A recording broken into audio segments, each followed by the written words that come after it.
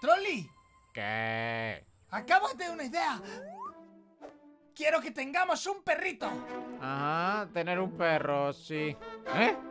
Espera, ¿pero te refieres a tener un perro de... tenerlo? O sea, tú, tú puedes tener... Quiere decir,